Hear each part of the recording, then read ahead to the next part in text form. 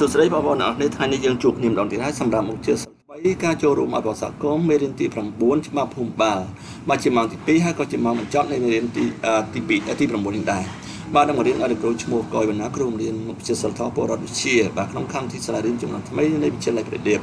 បាទមុននឹងឈានទៅដល់មេរៀនបន្តនៅច្បាប់ភូមិបាលមេរៀនទី9នេះលោកគ្រូសូមរំ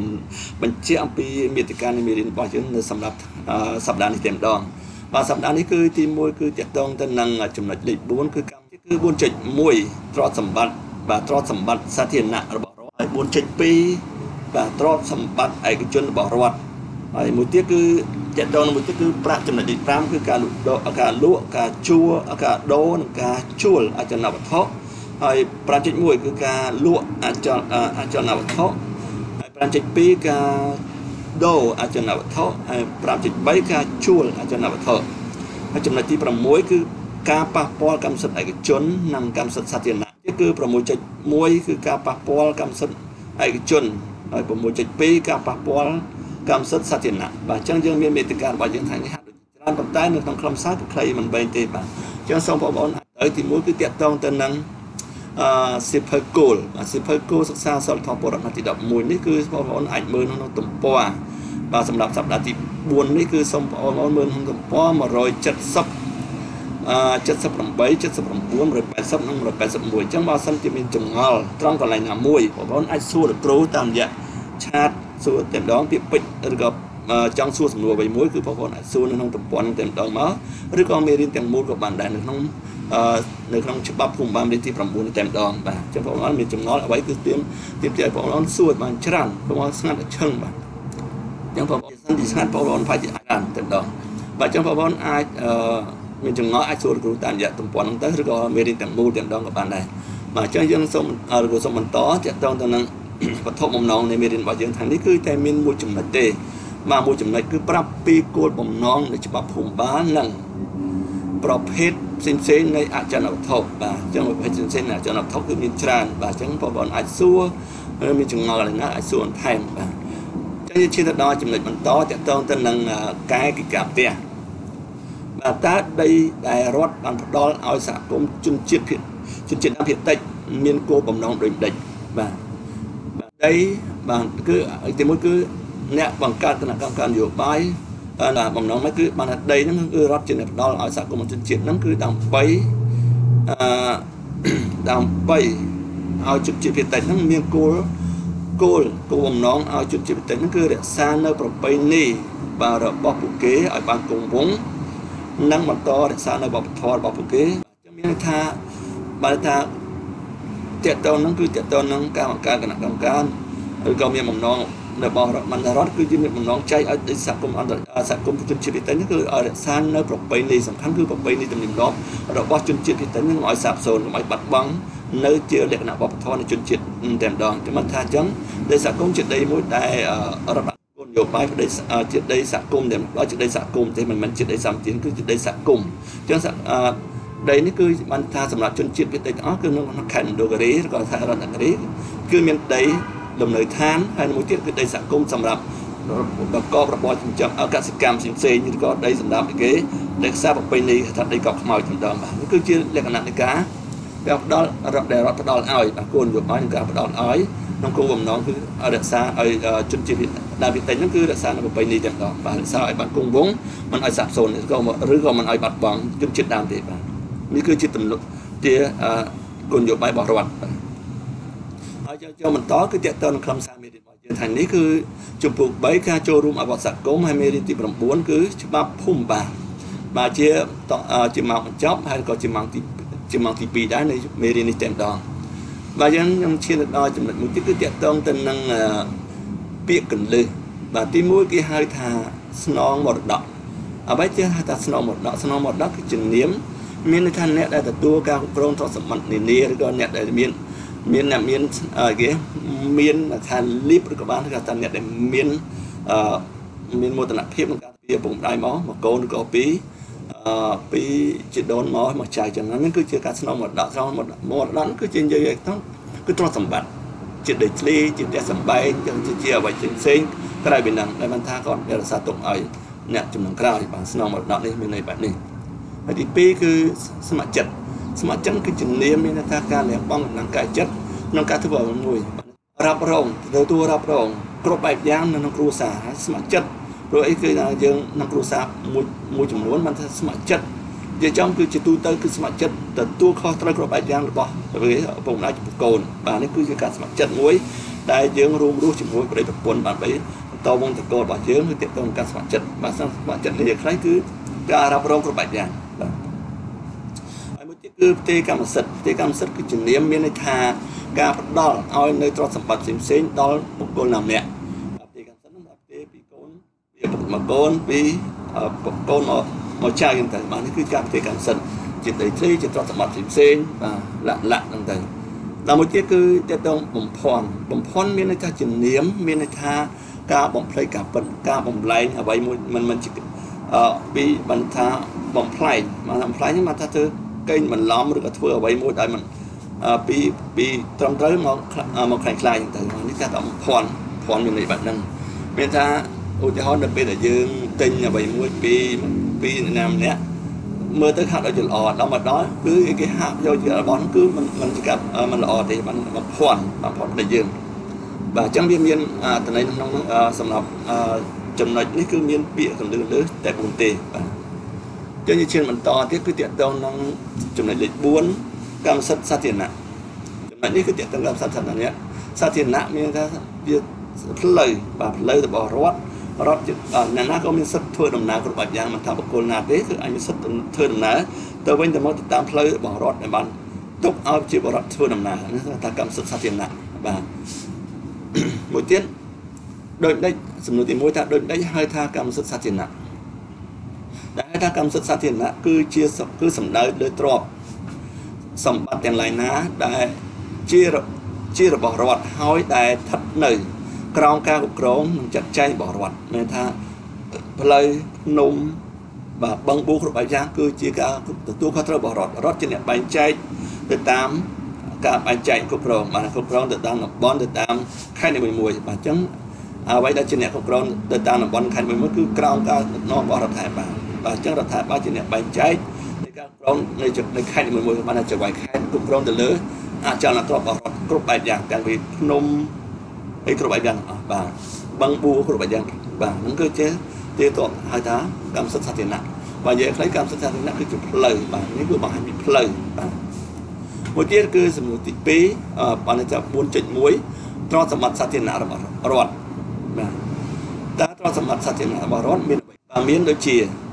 បាទទ្រព្យសម្បត្តិដែលកើតចេញពីធម្មជាតិបាទព្រៃឈើផ្លូវទឹកបឹងធម្មជាតិចាំងទន្លេឬក៏ត្រើយសមុទ្របាទហ្នឹងគេថា កើតមកដោយឯងឯងហើយក៏ការគ្រប់គ្រងរបស់រដ្ឋរបស់រដ្ឋាភិបាលឬរបស់រដ្ឋនៃភាគីណាមួយបាទរដ្ឋគ្រប់គ្រងទៅលើដែនដែនសមត្ថកិច្ចនៃការរស់នៅឬក៏ស្ថិតនៅក្រោមការដឹកនាំរបស់រាជរដ្ឋាភិបាលបាទនេះគឺជាការសម្បត្តិទាំងអស់គឺជាសម្បត្តិរបស់រដ្ឋទី2ទ្រព្យទ្រព្យទាំងឡាយណាដែលដាក់ឲ្យប្រើប្រាស់ជាសាធារណៈដូចជាផ្លូវសាលារៀនមន្ទីរពេទ្យអីហ្នឹងគឺ បញ្ជាក់ពីបាទពលានយន្តហោះឬក៏ផ្លូវថ្នល់កំពង់ផែហ្នឹងគឺសុទ្ធតែជាបាទការដាក់ឲ្យប្រើប្រាស់ជាផ្លូវការរបស់របស់រដ្ឋបាទជាសាធារណៈ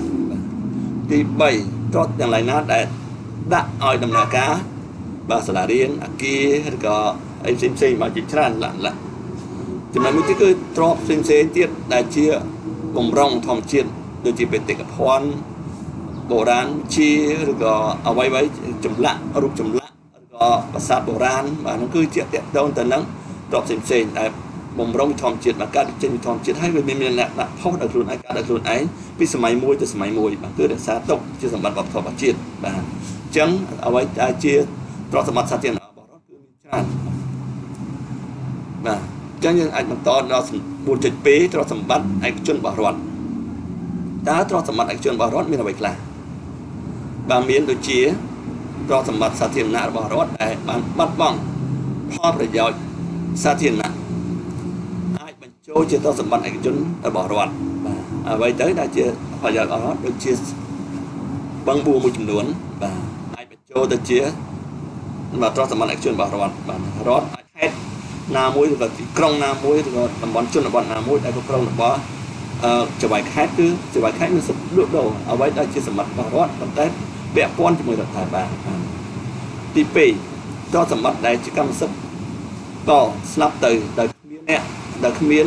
បន្សល់ទុកឲ្យទីយាតបាទថាថាអត់មានអ្នកទីយាតសិទ្ធិកនឹងបានសល់ទៅអញ្ចឹងគឺបកគលទៅឲ្យរដ្ឋទាំងអស់ជាអ្នកគ្រប់គ្រងទី3រដ្ឋដែលជាម្ចាស់ធ្វើអំណោយឲ្យដោយរដ្ឋដោយស្ម័គ្រចិត្តបានថាផ្ដល់ ដីកន្លែងណាមួយឲ្យរដ្ឋរដ្ឋជាអ្នកគ្រប់គ្រងវិញវិញបាទជាជាប្រតិបត្តិរបស់រដ្ឋមួយទៀតគឺត្រដ្ឋដែលជាម្ចាស់បោះបង់ចោលទ្រព្យទំនេរអត់ម្ចាស់បាទបោះបង់ចោលបាត់ម្ចាស់យូរទៅរកមិនឃើញក៏បាទអញ្ចឹង3ទី4ទី5ទ្រព្យដែលមិនអាចកំណត់នៅអត្តសញ្ញាណជាកម្មសិទ្ធិកបានអត់បានកំណត់បានអញ្ចឹងវាជារបស់រដ្ឋដែរមួយទ្រព្យដែលមិនអាចដែលមិនមែនជាកម្មសិទ្ធិនៃការយកធ្វើជារបស់ឯកជនបឹងបួដីទួល បឹងរួមឬដីទួលដូចជាបឹងអពាជនៅនៅនេះនៅចំមានថានៅចំណុចបាក់ហែងហ្នឹងទៅឬដីទួលស្មោសានដែលគេទុកចោលយូរហ្នឹងក៏ជារបស់រដ្ឋដែរបាទអានេះគឺចំណុចសំខាន់របស់មួយទៀតគឺតកតនឹងទី5ការលក់ដូរការលក់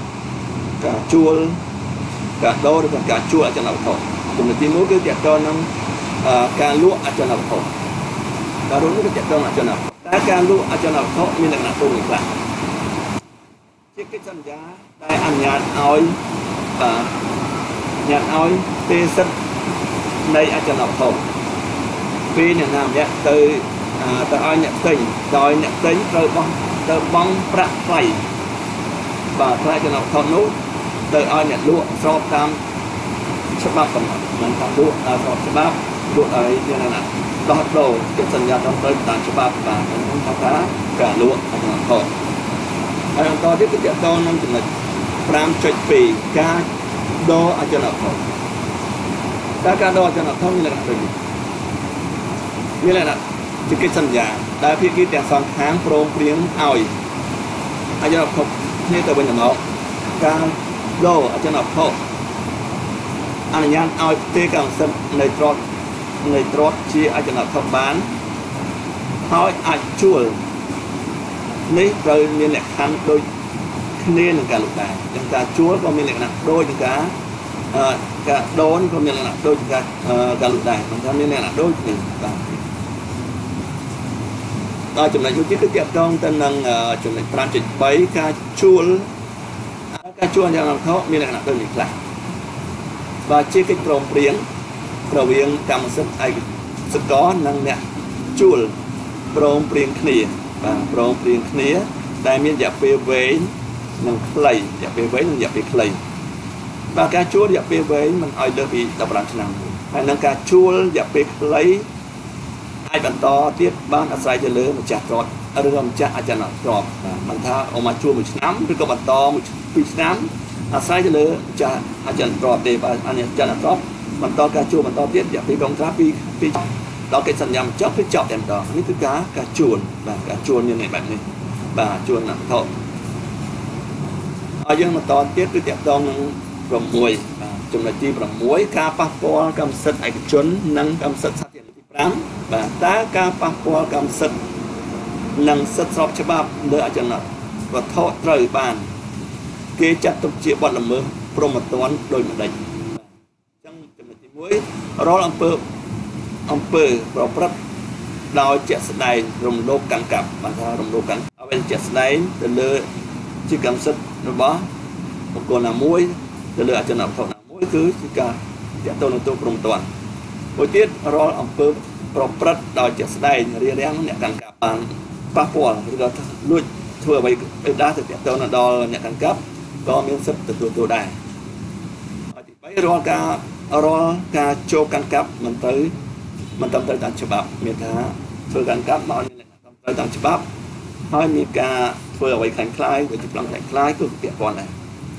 មួយទៀតគឺរាល់ការបំផ្លែងពីសម្បទានមកជាកម្មសិទ្ធិសម្បទានមកជាកម្មសិទ្ធិបានថាជាកម្មសិទ្ធិឧមាសម្បទានសម្បទានជាកម្មសិទ្ធិរបស់ខ្លួនក៏ឲ្យមានប៉ះពាល់ដែរចង់ចំណុចសំខាន់គឺមាន4នៅក្នុងនេះតកតនឹងច្បាប់ព្រមតនតកតនឹងការសិទ្ធិស្របច្បាប់ទៅលើអចលនវត្ថុបាទអញ្ចឹងអ្នកដែលមានសិទ្ធិគ្រប់បែបយ៉ាង អ្នកដែលភ័ណ្ឌគ្រប់បែបយ៉ាងគឺតែមានទោសព្រមតនបើចំណុចមួយទៀតគឺតាក់ទងទៅនឹង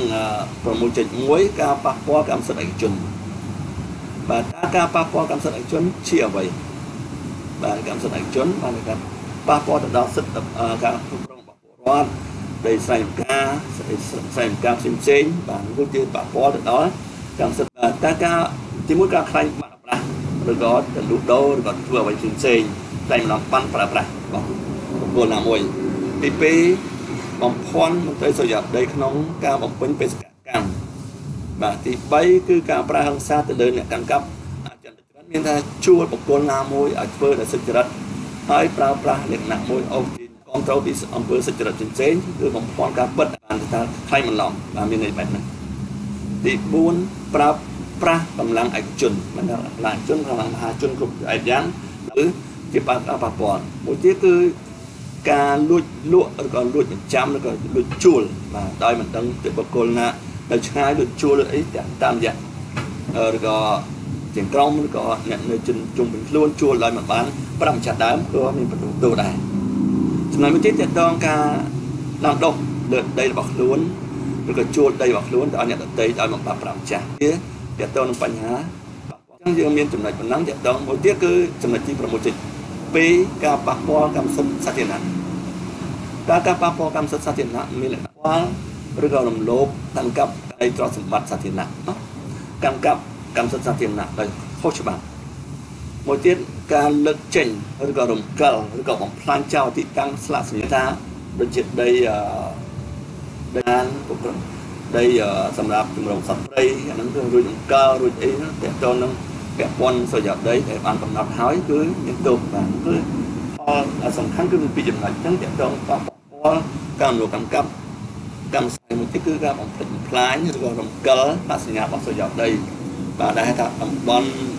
ដូចជាអប្សរាឬក៏តំបន់ផ្សេងផ្សេងតាក់ទងនឹងទីតាំងរបស់ជំរំសត្វព្រៃហ្នឹងក៏ប៉ះពាល់ដែរបាទហ្នឹងគឺជាបញ្ហាមួយដែលតាក់ទងទៅនឹងផលប៉ះពាល់សិទ្ធិសាធារណៈកម្មសិទ្ធិសាធារណៈបាទ ចឹងយើងឈានដល់សំណួរផលិតផលរបស់យើងខាងនេះគឺមានមួយសំណួរតើផលប៉ះពាល់កម្មសិទ្ធិសាធារណៈមួយទៀតគឺការលើកចេញឬក៏រំកិលចេញនៅចានចោលឬក៏មិនចោលឬក៏រំកិលដាក់កន្លែងផ្សេងដែលតាក់ទងនឹងសញ្ញាបត្រសញ្ញាដាក់ទោសឬអ្នកកម្មកម្មខុសច្បាប់បាទនេះគឺជារឿងមួយដែលតាក់ទងទៅនឹងផលប៉ះពាល់រដ្ឋបាទអញ្ចឹងយើងជួបឈានដល់មួយទៀតគឺតាក់ទងនឹងទីការទីការផ្ទះរបស់បងប្អូនបាទតើការជួលអចលនថោក្នុងរយៈពេលវែងតែកម្មសិទ្ធិក និងអ្នកជួលត្រូវធ្វើដូចនេះបាទត្រូវធ្វើយ៉ាងម៉េចរយៈពេលវែងហ្នឹងបាទតែយើងត្រូវធ្វើយ៉ាងម៉េចដើម្បីជួលឲ្យមានលក្ខណៈត្រូវបាទជួលនឹងរយៈពេលវែងកម្មសិទ្ធិកនិងអ្នកជួលត្រូវធ្វើដូចនេះបាទចឹងក៏មានលក្ខខណ្ឌបែបអាចមើលរកចម្លើយនេះក្នុងប្រព័ន្ធហ្នឹងបាទប្រហែលជារកឃើញរកមើលតែខ្លួនឯងតាមយ៉ាងហ្នឹងទៅហើយសង្ស័យជ្រាវឲ្យបានច្បាស់លាស់ហើយបើសិនឆ្ងល់សួរនឹងបន្ថែមបាទអញ្ចឹងបងប្អូនសូមយកកិច្ចការទាំងអស់នេះទៅធ្វើទាំងមេរៀន ទាំង Google ហើយនិងទាំងកិច្ចការផ្ទះសូមបងប្អូនផ្ញើឲ្យគ្រូឲ្យបានទាន់ពេលវេលាគឺពេលថ្ងៃប្រហោះបាទចន្លោះពីម៉ោង1 30នាទីរហូតដល់ម៉ោង5អញ្ចឹងបងប្អូនអាចផ្ញើបានគ្រប់គ្រប់គ្នាបាទជាវាងបងប្អូនណាមកផ្ញើគឺទៅបានបន្ទុកបាទទៅបានដកបន្ទុកទៅវិញហើយកុំចូលតែ Google សូមបងប្អូនផ្ញើកិច្ចការផ្ទះផងបាទសូមអរគុណសម្រាប់ការតាមដានការរៀនរបស់គ្រូឈ្មោះកុយមណាសូមជម្រាបលាបងប្អូនបាទសូមអរគុណសូមជម្រាបលា